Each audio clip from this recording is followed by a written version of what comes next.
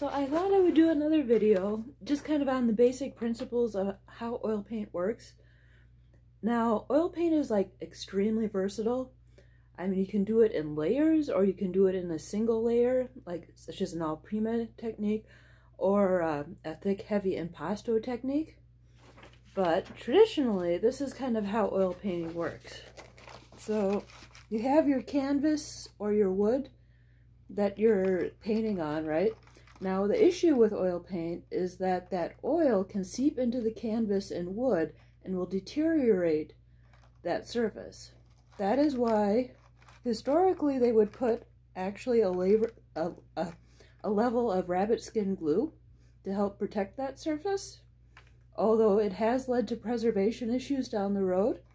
And then on top of that would go uh, a gesso layer and then on top of that would be go a toned layer. What and what I mean by toned is like a very thin, minute amount of paint kind of smeared all over the surface, the white surface. And then you start painting with different layers of paint.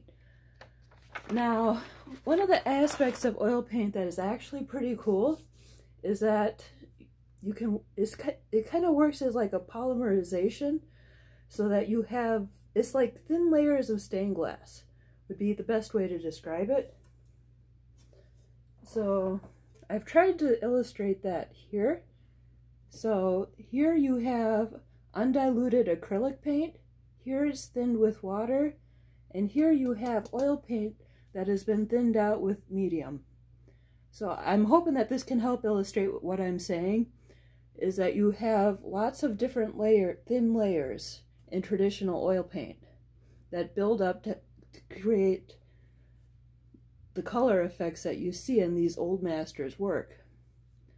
So I guess that's it for this video. Thanks for watching.